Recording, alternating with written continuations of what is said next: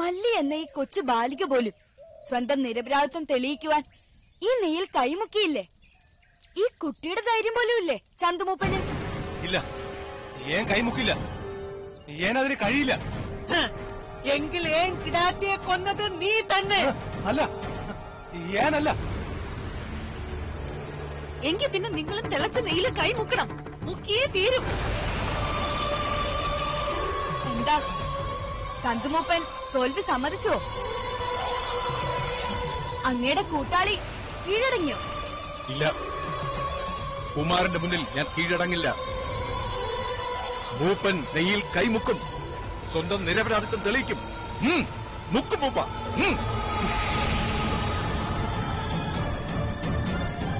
മണികണ്ഠ അവനെ ശനി പിടികൂടി കഴിഞ്ഞു. ഇനി അവനെ രക്ഷയില്ല. അവന്റെ പരാജയം നിശ്ചയം.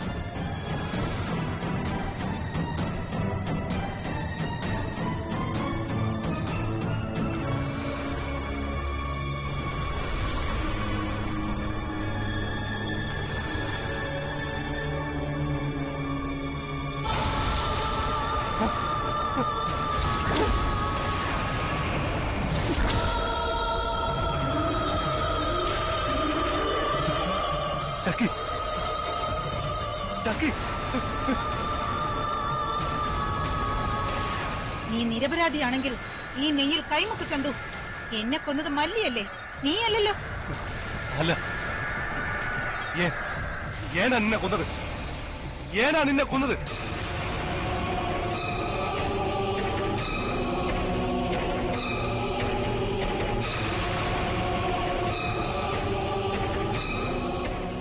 ചക്കയെ കൊന്നത് ഏനാ? ചക്കയെ കൊന്നത് ഏനാ? എന്തിന്? കൊല്ലാൻ മാത്രം എന്ത് ദ്രോഹമായി ഏൻ നിന്നോട് ചെയ്തത്? ഓൾ എന്നോട് ദ്രോഹമൊന്നും ചെയ്തില്ല എവൾ? ഈ മല്ലി? എവളെ നശിപ്പിക്കാനാ? ഞാൻ ചക്കയെ വിഷം കൊടുത്ത് കൊന്നത്.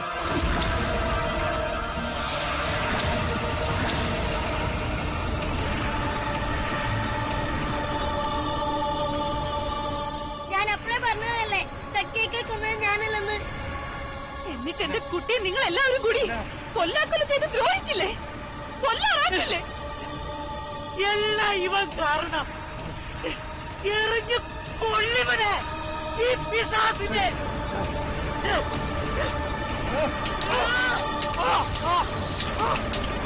വേണ്ട വേണ്ട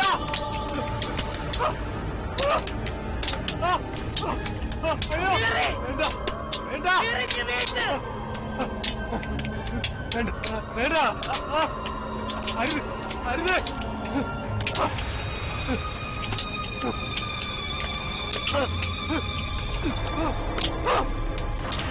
ആ, അയ്യോ.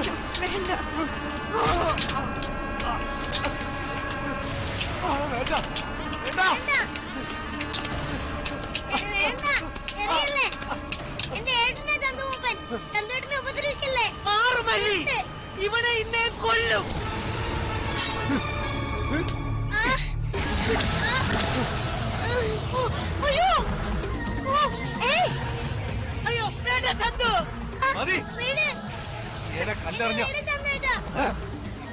ഈ പിശാചിനെ കൊല്ലിയാൻ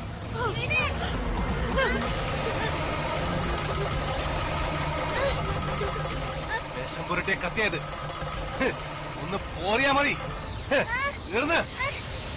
ഇവൾ ചാവും അയ്യോ വിട് അയ്യോ എന്റെ കുഞ്ഞ്. ജ്യേഷ്ഠ വിധി അതിന്റെ വിളയാട്ടം ആരംഭിക്കുകയാണ് അനുജ. അതിനെ തടയാൻ നമുക്കാവില്ല. മല്ലിയുടെ സമയം അവസാനിക്കുകയാണ്.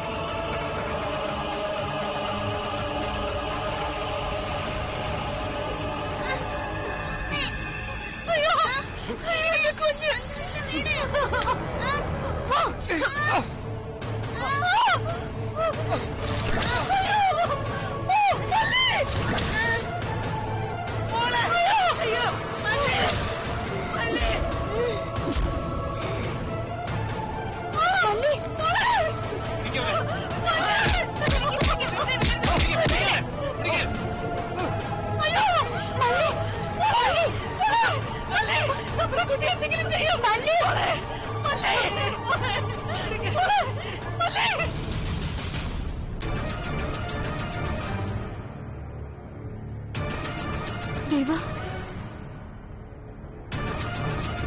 മരണം സത്യമാണ് ദേവി. മരണം മാത്രമാണ് സത്യം. ജനനവും ജീവിതവുമെല്ലാം മായയാണ്. നമ്മുടെ യാതനകളും പ്രതാപവും നേട്ടങ്ങളുമെല്ലാം താൽക്കാലികമാണ്. എന്നാൽ ഒരുവൻ ഒരിക്കൽ ജനിച്ചിട്ടുണ്ടെങ്കിൽ അവന് മരണം നിശ്ചയമാണ്. പക്ഷെ മല്ലി എല്ലാം അറിയുന്നവളല്ലേ ദേവി? മല്ലിക്ക് ജാതകവശാൽ ഈ ദിനം മരണം നിശ്ചയിക്കപ്പെട്ടിരിക്കുകയാണെന്ന് സ്വയം ദേവി തന്നെയല്ലേ മല്ലിയുടെ മാതാവായ സത്യവതിയോട് പറഞ്ഞത്?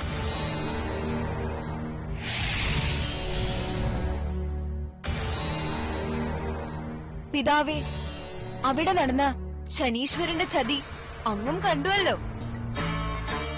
ശനീശ്വരന്റെ കാർമ്മികത്വത്തിൽ നടന്ന ആ നാടകത്തിൽ ചതികൾ സംഭവിക്കുമെന്ന് നാം കുമാറിന് മുന്നറിയിപ്പ് നൽകിയിരുന്നതല്ലേ? പക്ഷേ ഈ പോരാട്ടത്തിൽ ന്യായത്തിന്റെ പക്ഷത്തു നിന്ന് മണികണ്ഠകുമാരനും നാമും വിജയിച്ചതാണ്. അവർ ഞങ്ങളെ ചതിച്ചതാണ്. മരണത്തിന് ന്യായസ്ഥനെന്നോ അധർമ്മിയെന്നോ വ്യത്യാസമില്ല കുമാര. മരണം അതിന്റെ ഇരയെ കൃത്യസമയത്ത് അതിന് വിധിച്ച മാർഗത്തിലൂടെ കീഴ്പ്പെടുത്തിയിരിക്കും ബ്രഹ്മ വിഷ്ണു മഹേശ്വരന്മാർക്ക് വരെ ഈ നിയമം ബാധകമാണെന്നിരിക്കെ. കേവലം മർത്യഗണത്തിൽപ്പെട്ട ആ വനപാലികയുടെ കാര്യം പറയാനുണ്ടോ? ഏതൊരു കർമ്മത്തിന്റെയും ജയാപജയങ്ങൾ നിർണയിക്കുന്ന അനിഷേധ്യ ദേവതയാണ് പ്രണവമന്ത്ര സ്വരൂപനായ വിഘ്നേശ്വരൻ. ഇവിടെ മണികണ്ഠന്റെ പരാജയം വിഘ്നേശ്വരന്റെ പരാജയമായി വ്യാഖ്യാനിക്കപ്പെടും. ഗണപതിയുടെ പരാജയം സനാതനധർമ്മത്തിന്റെ പരാജയമായി ഭവിക്കും. ഈ പോരാട്ടത്തിന്റെ ആരംഭത്തിൽ തന്നെ നാം നൽകിയ മുന്നറിയിപ്പ് അവഗണിച്ച് വിഘ്നേശ്വരന്റെ ആത്മവിശ്വാസം ഇപ്പോൾ എവിടെ പോയി? ഏതൊരു ശത്രുവിന്റെയും ശക്തി നമുക്കളക്കാം എന്നാൽ വിധി വിധിയുടെ ശക്തിയെ നാം എങ്ങനെയാണ് അളക്കുക കുമാര? വിധിയുമായി പല ഒരു പോരാടി നോക്കിയിട്ടുള്ളവരാണ് നാമും മഹാവിഷ്ണുവും പിന്നെ കുമാരന്റെ ജനനിയുമായ പാർവതീദേവി. വിധിക്കെതിരായി നടന്ന ഓരോ പോരാട്ടങ്ങളിലും ജയം എത്ര ദുഷ്കരമാണെന്ന് സ്വയം അനുഭവിച്ചറിഞ്ഞവരാണ് ഞങ്ങൾ. പാവ മണികണ്ഠൻ ഇപ്പോൾ വിധിയോട് പോരാടുന്നത് ബാല്യം വിട്ടുമാറാത്ത നമ്മുടെ മണികണ്ഠകുമാരനാണ്. വിധിയുടെ മുന്നിൽ ദൈവങ്ങൾ പോലും നിസ്സഹായരാണെന്ന് സ്വന്തം അനുഭവത്തിലൂടെ കുമാരൻ അറിയട്ടെ.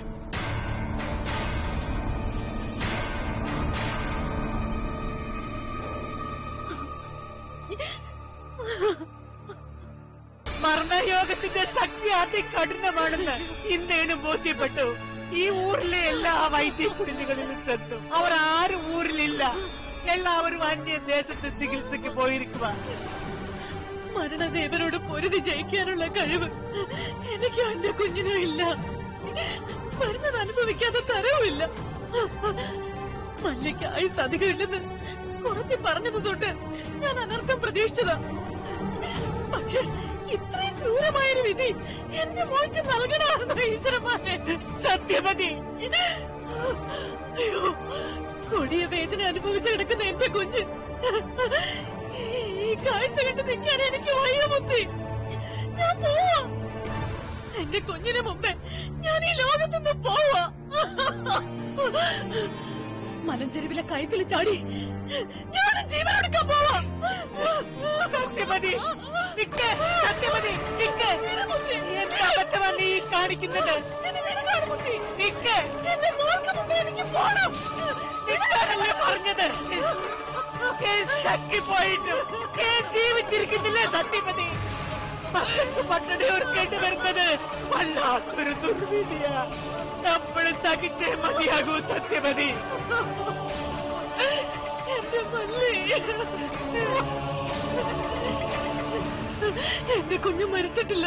അയ്യോ വേദനിക്കുന്നുണ്ടാവില്ല എന്റെ കുഞ്ഞിന്.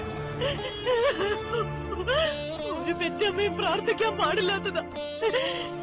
എന്നാലും എന്റെ കുഞ്ഞിനെ ഓർത്ത് ഞാൻ പ്രാർത്ഥിക്കുക. യമധർമ്മദേവ അധികം വേദന അനുഭവിപ്പിക്കാതെ എന്റെ കുഞ്ഞിനെ അങ്ങ് കൊണ്ടുപോയിക്കോ. കൊണ്ടുപോയിക്കോ. കൊണ്ടുപോയിക്കോ എന്റെ കുഞ്ഞിനെ.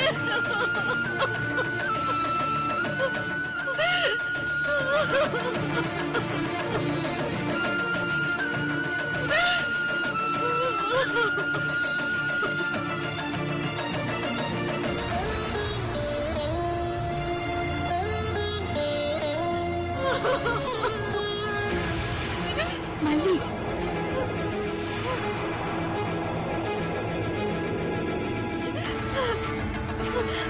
തമ്പ്രക്കുട്ടി കണ്ടില്ല? കണ്ടില്ല തമ്പ്രക്കുട്ടി എന്റെ മോന്റെ അവസ്ഥ. നിരന്തരം വേദന സഹിച്ച് മാറുന്നതാ എന്റെ കുട്ടി. ഇനിയെങ്കിലും അധികം വേദനിപ്പിക്കാതെ മല്ലിയെ കൊണ്ടുപോകാൻ തമ്പ്രക്കുട്ടി തന്നെ പറ. ഈശ്വരന്മാരോട് പറ.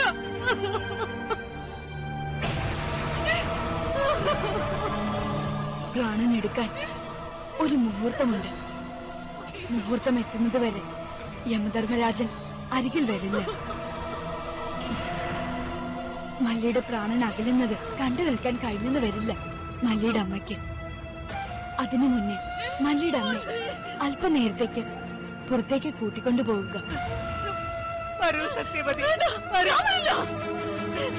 എനിക്ക് എന്റെ കുഞ്ഞിന്റെ അടുത്ത് തന്നെ ഇരിക്കണം. മുത്തിയുടെ കൂടെ പുറത്തേക്ക് പോകൂ അമ്മ. എന്റെ അപേക്ഷയാണ്. വരൂ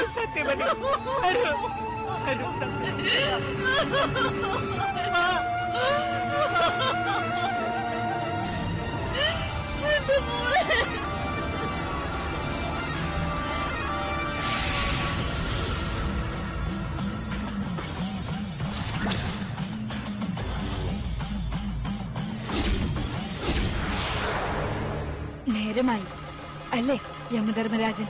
കുമാരനെല്ലാം നിശ്ചയമുണ്ടല്ലോ. വിഷ്ണുപഥത്തിങ്കിലേക്ക് ഈ ബാലികയുടെ പ്രാണൻ എത്തിക്കേണ്ടത് എന്റെ കർത്തവ്യം. എടുത്ത പ്രാണൻ തിരികെ നൽകി അനുഗ്രഹിച്ചിട്ടുണ്ട് അവിടുന്ന്. ചില പുണ്യജന്മങ്ങളെ അതുപോലെ ഈ പ്രാണനും തിരികെ നൽകണം അവിടത്തോട് എന്റെ അപേക്ഷയാണ്. അസംഭവ്യം മണികണ്ഠകുമാർ. മണികണ്ഠൻ എന്ന ബാലകന്റെ അപേക്ഷ കേട്ടില്ലെന്ന് ഭാവിക്കാൻ അങ്ങേക്ക് കഴിയും. ഇനി അപേക്ഷിക്കുന്നത് മണികണ്ഠകുമാരനല്ല.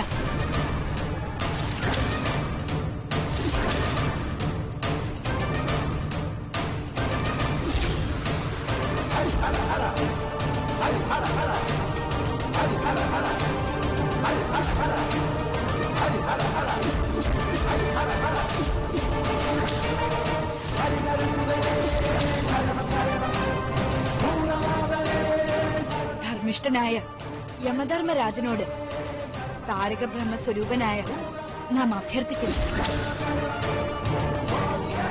അവസാന ശ്വാസത്തിലേക്ക് നീങ്ങിക്കൊണ്ടിരിക്കുന്ന ഈ ബാലികയ്ക്ക് പ്രാണനും ദീർഘായുസും വരമായി നൽകിയാലും. ആയുസ് കൽപ്പിക്കുന്നത് ഈ ഉള്ളവന്. ത്രിമൂർത്തികളാണ്. ആയുസ് തീർന്നവരെ. വിഷ്ണുപഥത്തിലെത്തിക്കുക എന്നത് മാത്രമാണ് എന്റെ കർത്തവ്യം.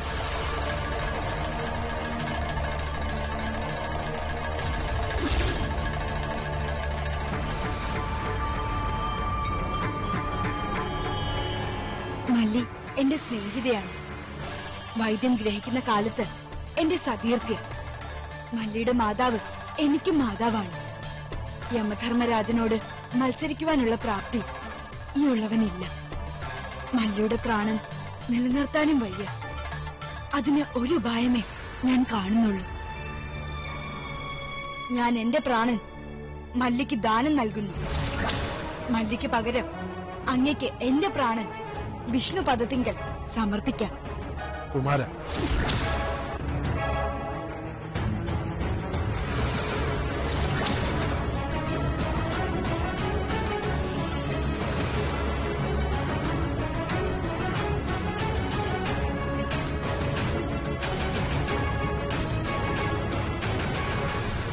ഇതാ.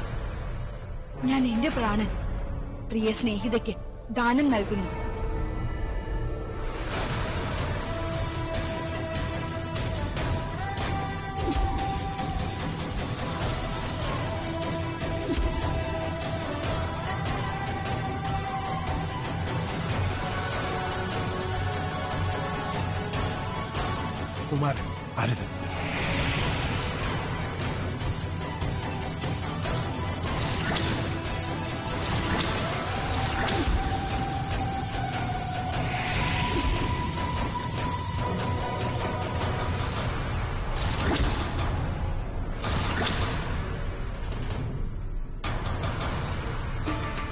ഭഗവാനെ എന്തെല്ലാം അനർത്ഥങ്ങളാണ് അവിടെ അരങ്ങേറുന്നത്?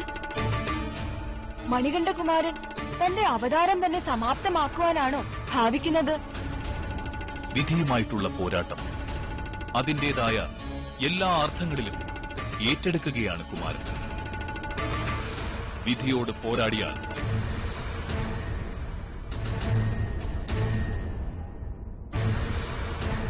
ഒന്നുകിൽ വിജയിക്കണം. അല്ലെങ്കിൽ. അല്ലെങ്കിൽ? മൃത്യുവാണ് ഫലം. മൃത്യു? നമ്മുടെ കുമാരനോ? വിധിയോട് പോരാടാൻ ഇറങ്ങുന്ന ആരും മരണത്തെ മുന്നിൽ കണ്ടു വേണം പോരാടാൻ. മരണമോ? കലിയുഗ വരതന് മരണമോ? ഇത് ഇത് കൈവിട്ട കളിയാണ് ദേവ. അങ്ങിത് നിസ്സംഗനായി കണ്ടു നിൽക്കരുത്.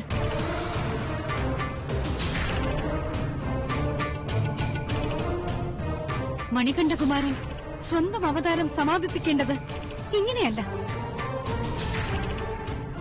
ആരംഭിക്കുന്നതിന് മുന്നേ തന്നെ കെട്ടുപോവേണ്ടതല്ല താരകബ്രഹ്മം. അത് കൽപ്പാന്തകാലത്തോളം തിളങ്ങി നിൽക്കേണ്ട ദിവ്യ ജ്യോതിയാണ് മഹിഷി നിഗ്രഹത്തിന് വേണ്ടിയല്ലേ മണികണ്ഠകുമാരൻ അവതരിച്ചത് ദേവകാര്യത്തിനായി അവതാരം കൈക്കൊണ്ട മണികണ്ഠൻ ഒരു വനപാലികയ്ക്ക് വേണ്ടി തന്റെ അവതാരം സമാപ്തമാക്കണോ? പറയൂ. പറയൂ നാഥ. മണികണ്ഠന്റെ പ്രാണനെ സ്പർശിക്കാനുള്ള ധൈര്യം യമധർമ്മൻ ഉണ്ടാവില്ല അതുമൂലം ഉണ്ടാകുന്ന പ്രത്യാഘാതങ്ങൾ തടുക്കപ്പെടേണ്ടതാണ്. ഈ കൊടിയ അനർത്ഥങ്ങളെല്ലാം തടുക്കപ്പെടേണ്ടതാണ്.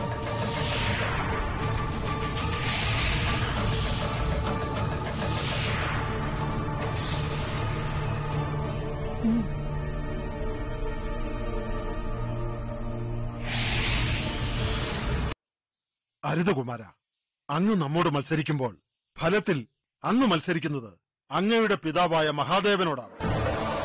അങ്ങയ്ക്ക് തെറ്റിയമ്മ ധർമ്മരാജ. ജീവശ്വാസം നൽകുമ്പോൾ ബ്രഹ്മദേവൻ മല്ലിക്ക് ഒരു ആയുസ് നിശ്ചയിച്ചിട്ടുണ്ട്. അതെത്താൻ ആണ്ടുകൾ ഇനിയും അനേകമുണ്ട്.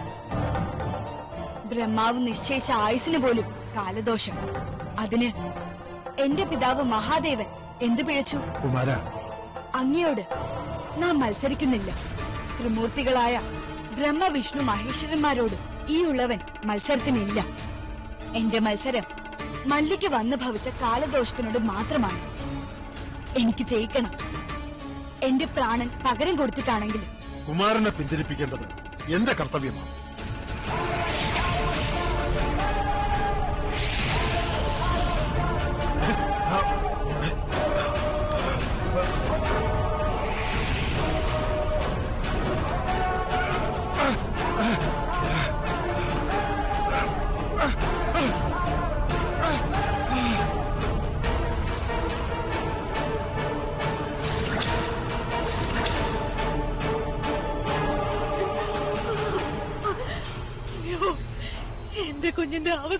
ശ്വാസവും കഴിഞ്ഞിട്ടുണ്ടാവും.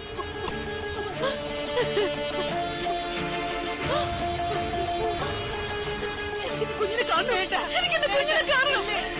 മല്ലി! സമാധാനപ്പെടും. സമാധാനപ്പെടും പള്ളിയോടൊപ്പം വൈദ്യം വശമാക്കിയതല്ലേ തമ്പുരാൻകുട്ടി? പള്ളിയുടെ മുറിവിൽ വൈദ്യം പരീക്ഷിക്കാവൂ.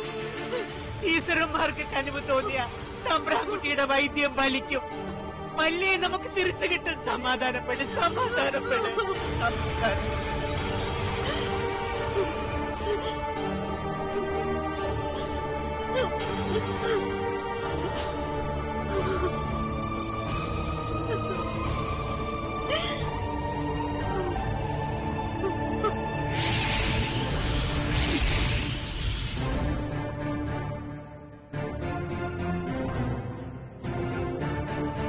കുമാര.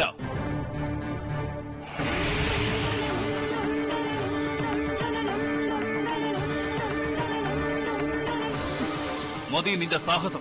നിർത്തുക. പിതാവേ മല്ലി. കുമാര എന്ത് സാഹസമാണിത്?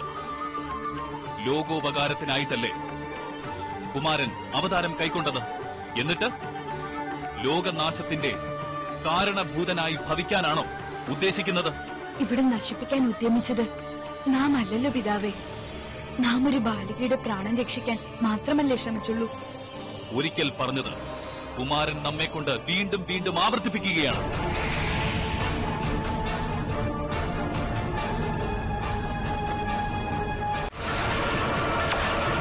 അനിവാര്യമായ വിധിക്കായി കാത്തുകിടക്കുന്ന പെൺകിടാവ്. അവളുടെ ജീവൻ വിട്ടുകൊടുക്കാതെ സ്വന്തം ജീവൻ നൽകാൻ തയ്യാറാകുന്ന മണികണ്ഠൻ.